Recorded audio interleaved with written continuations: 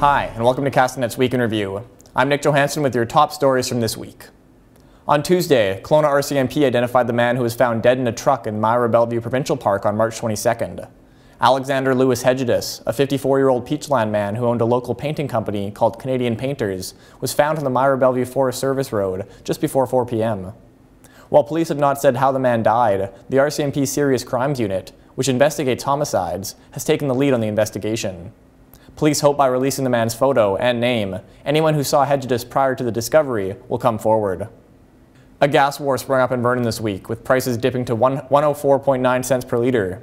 Dan McTeague, an analyst with GasBuddy.com, said the Canadian Tire and SuperSave gas stations drove the war, forcing the competing stations to match their below-cost prices. Stations were purchasing their gas at $1.22 per litre this week, meaning stations were losing money as they tried to compete. The battle appeared to ease Thursday night, with most stations moving back to 127.9 cents per litre.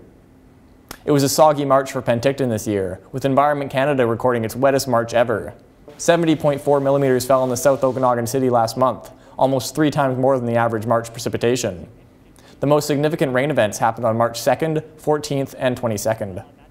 A fire quickly overtook a large house in McKinley Landing Tuesday night, completely destroying the home. The lone woman inside, Bonnie Kretschmer, was unaware of the fire, but was alerted by a volunteer firefighter. A GoFundMe page was started to help the couple, who lost all their belongings in the fire. But on Thursday, the couple said they'd prefer that any of the money raised go towards the Kelowna Fire Department, or a charity of their choosing. The search for a missing 72-year-old man was suspended Tuesday, after search crews spent a week scouring all through West Kelowna. Lawrence Hamilton was last seen leaving the Lakeview Lodge at 3 p.m. on March 25th, where he was visiting his mother.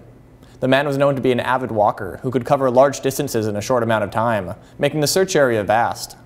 While the search has been suspended, search and rescue crews are still investigating leads. That's it for this week's Week in Review. For Castanet News, I'm Nich Johansen. Looking for things to do? Find our event section under our blue Our Town button in the yellow masthead. Also, post an event for free anytime.